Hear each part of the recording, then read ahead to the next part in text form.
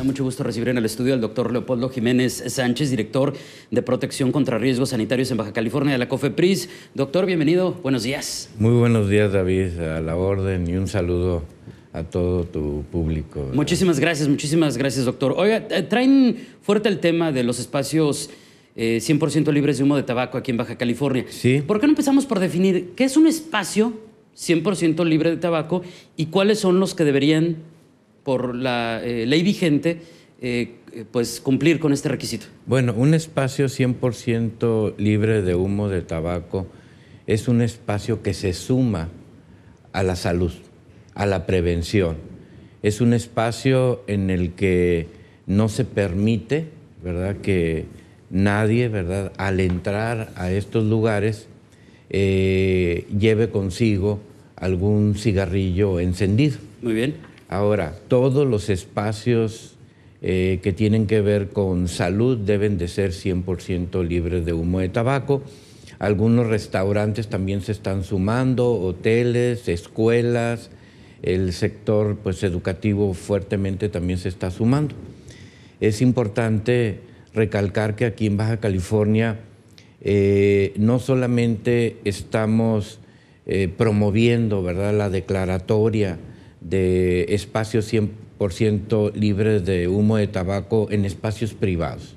Yo creo que los ayuntamientos, el ayuntamiento de Mexicali, el ayuntamiento de Tecate, el ayuntamiento de Ensenada, ya se declararon todas sus, instalaciones 100% libres de humo de tabaco. El noviembre pasado, la última declaración fue en Ensenada.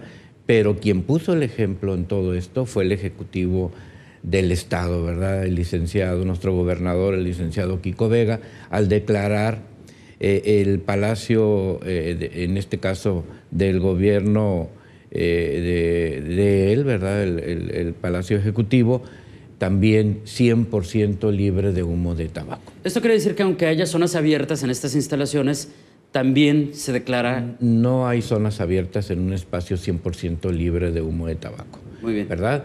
Eh, abiertas o cerradas, no se puede... No, no se puede fumar. No se puede fumar.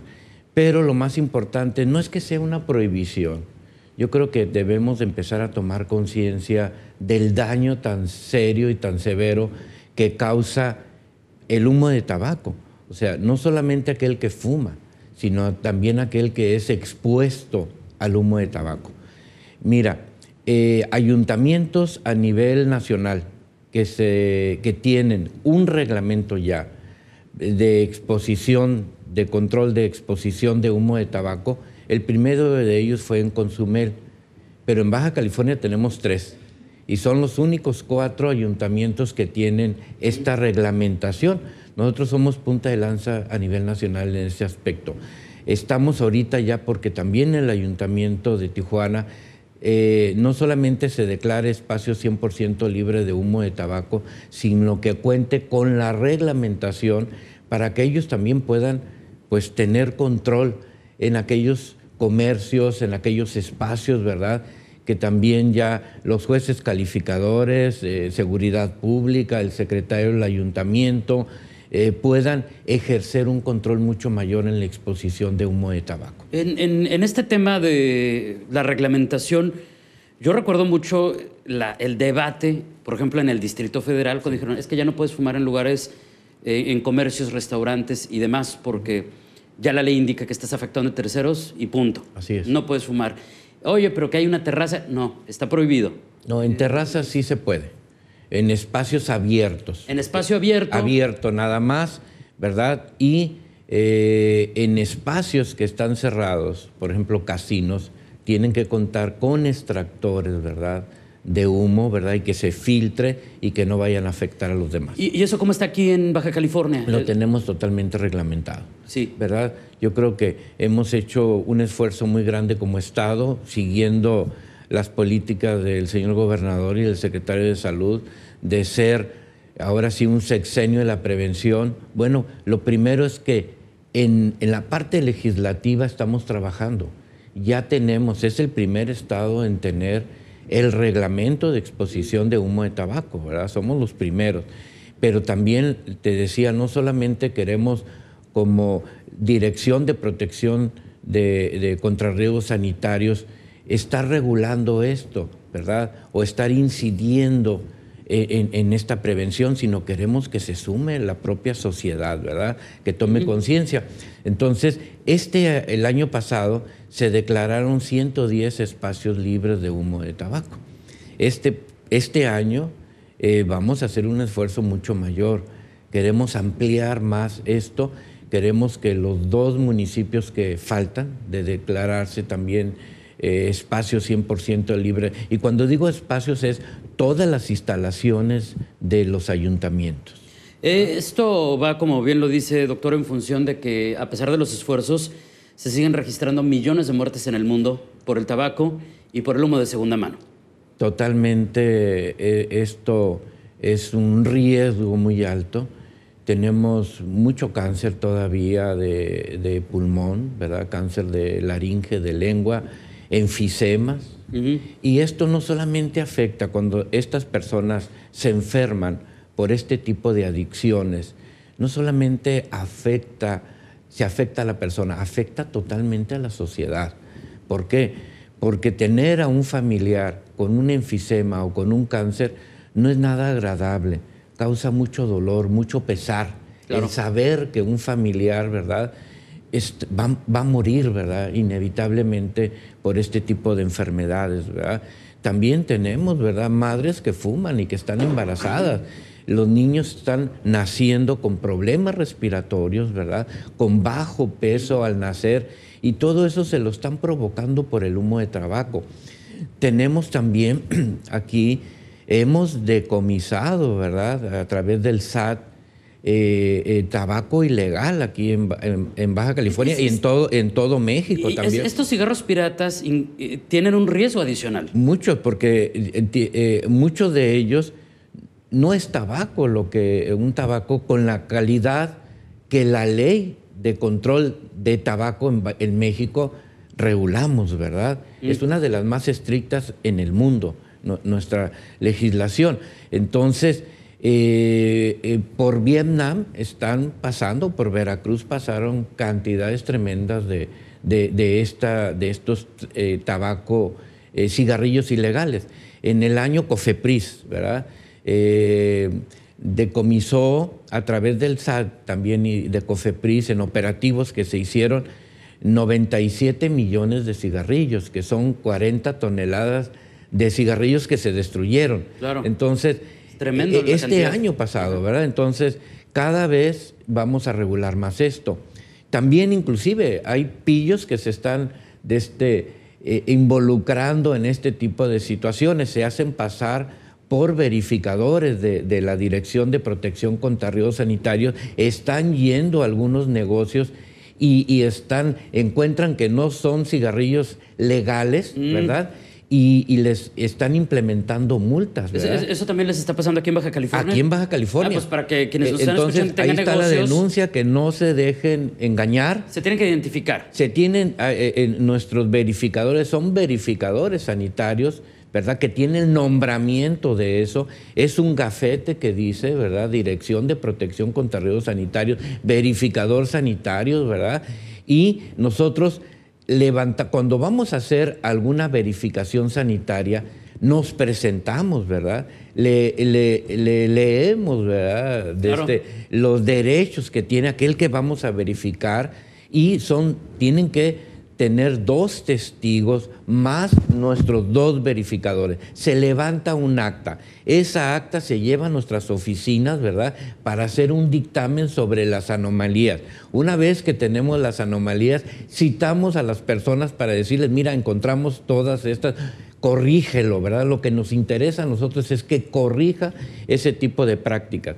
Una vez que ya se corrigen, ahora sí hacemos una resolución que puede ser en esa resolución una multa, pero es todo un proceso muy largo, no de inmediato como están llegando estos mm. delincuentes, ¿verdad?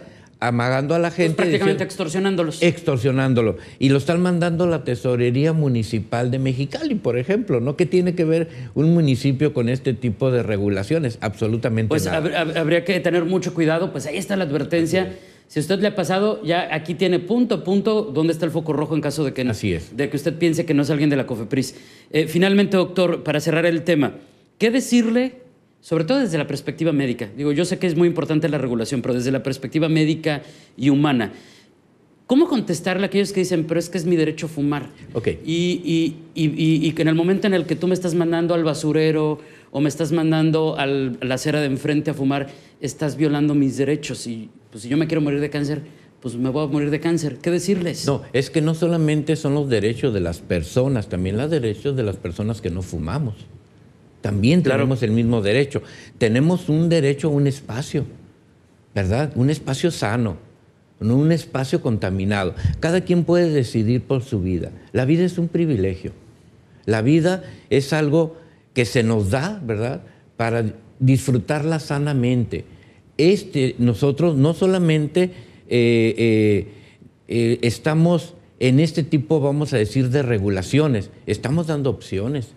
El Instituto ¿verdad? de Psiquiatría del Estado de Baja California tiene un programa de adicciones. La gente puede acudir ahí, ¿verdad? Para quitarse esa adicción. El tabaquismo, ok. Ese tabaquismo, ¿no? Entonces, es una muy buena inversión de vida. Eh, eh, el, el problema de la adicción, estamos hablando de un problema de ansiedad. Es un problema que hay, es un trastorno mental. Por lo tanto, hay que tratarlo como debe, no con prohibiciones, sino precisamente con soluciones a este tipo de problemas. Y, no tenerle miedo al concepto de la medicina psiquiátrica, porque No, la psiquiatría o, eh, vamos a decir, la psicoterapia, pues es una alternativa de salud. Mira, nosotros como seres humanos no solamente somos un montonón de, de, estructuras biológicas, nacemos en un espacio social y en ese espacio social es donde adquirimos y desarrollamos nuestra parte psicológica. Por lo tanto, esa relación biológica social que se puede ver alterada precisamente por este tipo de trastornos. Entonces, no solamente es el medicamento, es la parte social, que es la regulación que estamos haciendo y las posibilidades, pero también es la solución en, la, en cuestión de psicoterapia, ¿verdad? Que pudieran llevar ¿verdad? Todas estas personas que serían una gran inversión, gastarían mucho menos. Y en ellos, en su vida, en una vida más larga, pero además más, eh, de mayor, mucho mayor calidad. Claro. Entonces, eh, oiga, doctor, tenemos llamadas y comentarios del público. Sí. Eh, básicamente coinciden, en, digo, tenemos varios, pero por asuntos de tiempo no, no podemos compartirlas todas, pero encuentro un común denominador.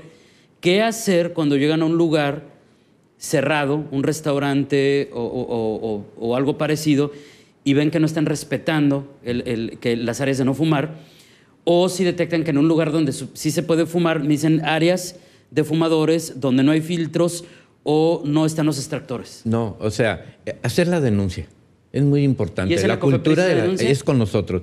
Directamente con nosotros, eh, el teléfono es 686 557 0158. Pueden hacer ahí sus denuncias, inclusive en todo esto hay un letrero donde dice usted una denuncia puede hacerlo a este número telefónico. Ah, muy bien. Nosotros en cuanto estamos recibiendo este tipo de denuncia, nos estamos acercando a eh, estos eh, comerciantes, ¿no? a estos restaurantes. Miren, la, la economía tiene que ver con la salud. No porque permitan ahí que la persona no se le vaya, ¿verdad? Yo creo que somos más los que queremos espacios libres de humo de tabaco que aquellos que quieren seguir en este tipo de comportamiento. Sin duda. Eh, ahora, en otros temas, eh, doctor Jiménez, eh, ustedes también tienen en sus actividades el monitoreo eh, en playas. Sí, claro. Por, contaminación. Estaban reportando todavía que estaban un tanto contaminadas por las últimas tormentas. En Estados Unidos, sobre todo sí, ahorita. ¿Acá cómo andamos? Aquí andamos bien ahorita. En diciembre que hicimos el último monitoreo salieron eh, sin ningún tipo de problema. Aquí lo medimos nosotros, ¿verdad? Lo somos la única instancia de gobierno que puede ir y tomar una muestra del mar, ¿verdad? Que lo estamos haciendo mensualmente en algunos lugares cada 15 días. Y eh, lo revisamos en un laboratorio y, vemos qué tantos microorganismos tiene. Hasta ahorita las playas en Baja California han salido bien, pero recuerden, siempre que va a llover, siempre va a haber arrastres, ¿verdad?, hacia el mar y por lo tanto eh, siempre va a haber cierres precautorios en ese aspecto, ¿verdad? Que la gente se, se abstenga, ¿verdad? Pero, en Baja California no tuvimos cierres precautorios este último periodo, ¿verdad? Eh, no tuvimos porque de este, nomás tuvimos un periodo de, lluvias y fue todo, ¿verdad? Pero vienen este fin de semana probablemente lluvias, ¿verdad? Y si eh, por el río Tijuana también hay aguas residuales, que hay un cárcamo que está bombeando toda esta agua y la está llevando pues para el tratamiento de estas aguas residuales. Pero cuando llueve sobrepasa la capacidad de este cárcamo y por lo tanto va a llegar al mar. En ese momento es cuando desde, hay un comité de playa limpia, ¿verdad? De aquí del ayuntamiento y también tanto en, Tijuana, eh, bueno, en los cuatro municipios que tienen playas, y ellos hacen la declaratoria, ¿verdad?, de un cierre precautorio. Ah, muy bien, pues estaremos atentos sobre todas estas lluvias que vienen. Doctor, muchísimas gracias por aquí, nos esperamos muy pronto. Estoy a sus órdenes y gracias por esta entrevista. Al contrario, gracias y muy buenos días. Es el doctor Leopoldo Jiménez Sánchez, el director de protección de, eh, es director de protección contra riesgos sanitarios, COFEPRIS, aquí en Baja California.